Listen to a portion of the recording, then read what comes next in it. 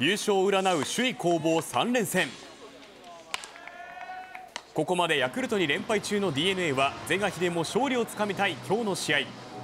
前回7回途中無失点の京山を先発マウンドへ。2回ここ2試合で3ホーマー9打席連続出塁中の4番村上と最初の対決。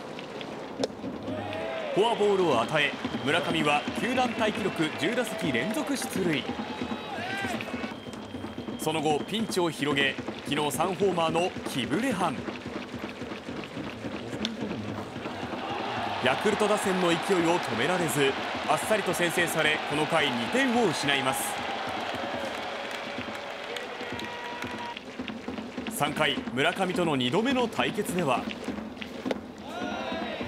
ここもバットを振らせず球団新記録となる11打席連続出塁。さらに5回3度目の対決でも3打席連続で歩かせ満塁のピンチを招きます。迎えるは昨日ホームランのオスナ。村上の後を打つ強力な助っ人を抑えることができず5回までに3点のリードを許します。それでも6回 d n a 打線が意地の反撃開始。1点を返し7番大和。ベテランが勝負強さを発揮。1点差に詰め寄ると。さらに。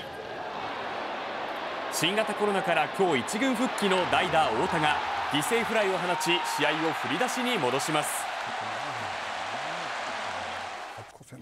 これ以上点を渡せない d n a は7回。防御率1点台勝ちパターンのエスコバーを投入。対するは4番村上。150キロ超えのストレートでインコースを攻め立てます。さらにフルカウントからも。156キロ。155キロ息の詰まるような攻防。そして154キロを弾き返された打球は無情にも d n a ファンが待つライトスタンドへ。D n a は痛すぎる3連敗となりました。